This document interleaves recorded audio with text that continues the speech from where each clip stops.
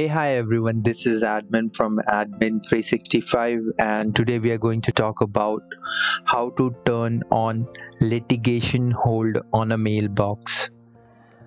So, let's get started. So, to be able to turn on litigation hold on a mailbox, it does require a specific license.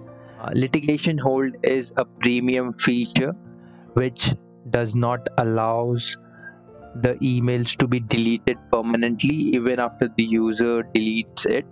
It stores the email to a separate location which is not accessible to the user but can be retrieved by doing a content search on the mailbox. As it is a premium feature it it is only available for users who are on exchange online plan 2 license. For the user who has exchange online plan 1 license. It is not available.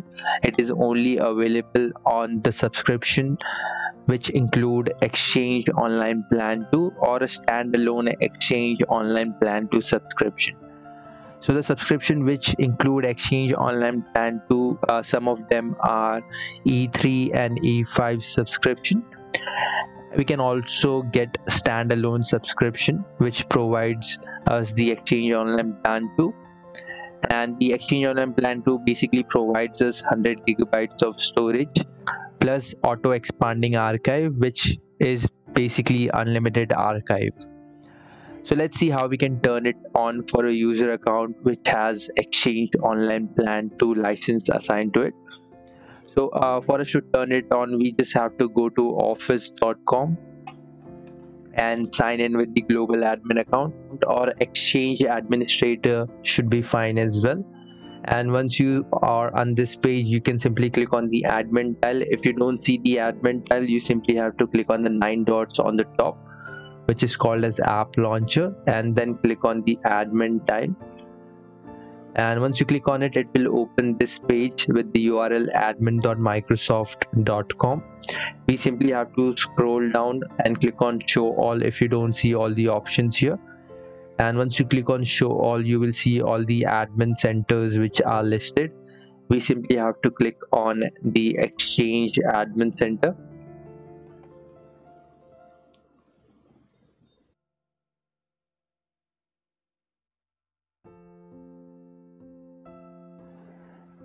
and we can simply get rid of this.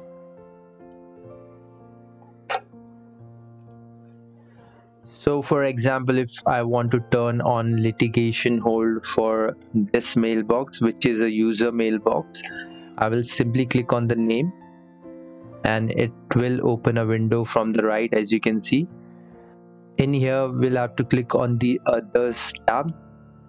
And here you will find the option litigation hold manage litigation hold. We simply have to click on it. And it gives us an option to turn it on. Currently it is turned off for the user. And as you can read on the top when litigation hold is turned on for a mailbox user can remove items from their mailbox but those items will still be saved by office 365 and those items can be retrieved by content search.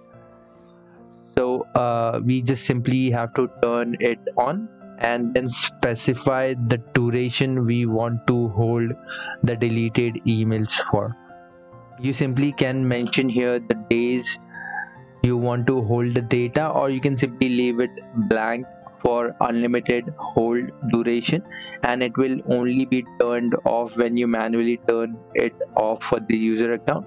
And you can add a note if you want that your mailbox is on litigation hold do not delete any item. It is visible for the user in the mailbox.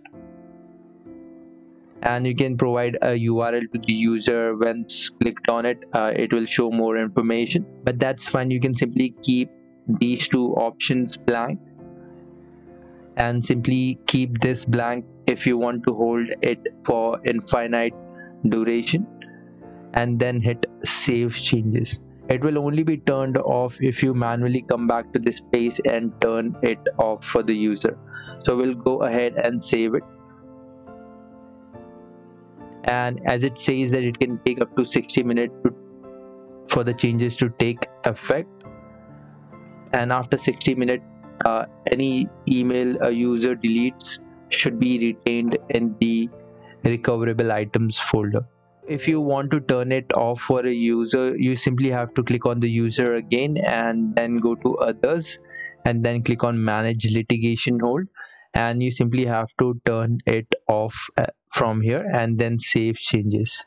So there you go guys. This was how we can turn litigation hold on in office 365 uh, do let us know if you have any questions and any query. And until then you have a nice day. Bye. Take care